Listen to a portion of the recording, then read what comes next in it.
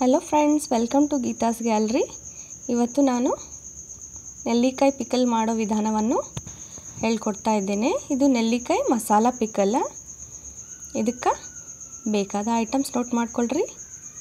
ನೆಲ್ಲಿಕಾಯಿ ಹುಣಸೆ ಹಣ್ಣು ಒಣ ಖಾರ ಉಪ್ಪು, ಸಾಸಿವೆ ಮೆಂತ್ಯಕಾಳು ಧನಿಯಾ ಕಾಳು ಜೀರಿಗೆ ಅರಿಶಿನ ಧನಿಯಾ ಕಾಳನ್ನು ಸ್ವಲ್ಪ ಲೈಟಾಗಿ ರೋಸ್ಟ್ ಮಾಡ್ಕೋಬೇಕು.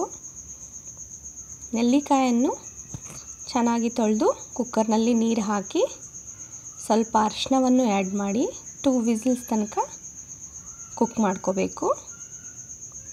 ಒಂದು ಪ್ಯಾನ್ನಲ್ಲಿ ಮೆಂತ್ಯಕಾಳನ್ನು ಹಾಕಿ ಚೆನ್ನಾಗಿ ಕೆಂಪಗಾಗೋ ತನಕ ಹುರ್ಕೋಬೇಕು. ಈ ಥರ. ಈ ಥರ ಹುರ್ಕೊಂಡ ನಂತರ ಮಿಕ್ಸರ್ ಜಾರ್ನಲ್ಲಿ ಸಾಸಿವೆ, ಲೈಟ್ ರೋಸ್ಟ್ ಆಗಿರೋ ಧನಿಯಾ ಕಾಳು, ಜೀರಿಗೆ ಮೆಂತೆ ಕಾಳನ್ನು ಹಾಕಿ ಈ ಥರ ಮಿಕ್ಸರ್ ಮಾಡ್ಕೋಬೇಕು. ಕುಕ್ಕರ್ನಲ್ಲಿ ನೆಲ್ಲಿಕಾಯಿ ಬೆಂದಿದ್ದಾವೆ.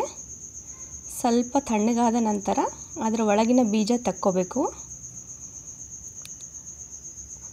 ಕಡಾಯಿನಲ್ಲಿ ಎಣ್ಣೆಯನ್ನು ಇಟ್ಟು ಸಾಸಿವೆ, ಜೀರಿಗೆ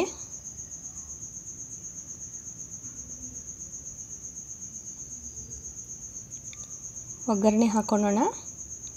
ಸ್ವಲ್ಪ ಹೆಂಗನ್ನು ಆ್ಯಡ್ ಮಾಡಬೇಕು.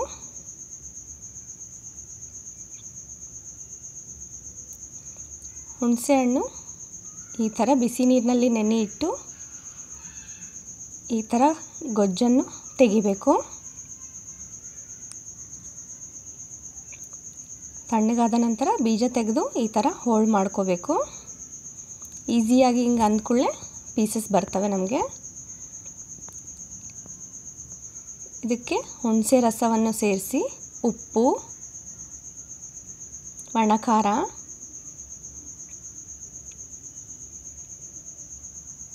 ಅರಿಶಿನ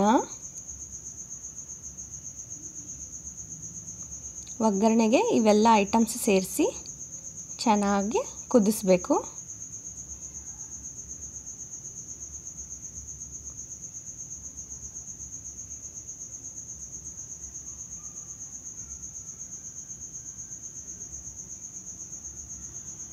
ಚೆನ್ನಾಗಿ ಕುದೀತಾ ಇದೆ.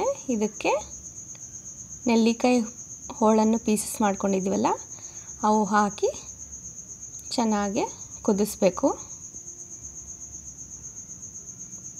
ಇದಕ್ಕೆ ಬೇಕಾದ ಅಳತೆ ಐಟಮ್ಸ್ ಎಲ್ಲ ಡಿಸ್ಕ್ರಿಪ್ಷನ್ ಬಾಕ್ಸ್ನಲ್ಲಿ ಕೊಟ್ಟಿದ್ದೀನಿ. ನೋಟ್ ಮಾಡ್ಕೊಳ್ರಿ.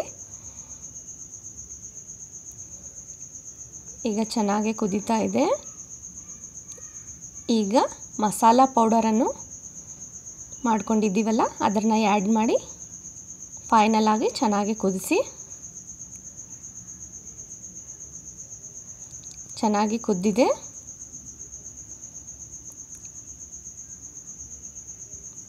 ನೆಲ್ಲಿಕಾಯಿ ಉಪ್ಪಿನಕಾಯಿ ರೆಡಿಯಾಗಿದೆ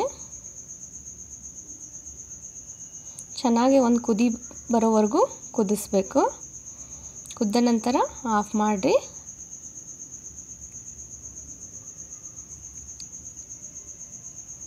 ಇದು ಒನ್ ಇಯರ್ವರೆಗೆ ಇರುತ್ತೆ.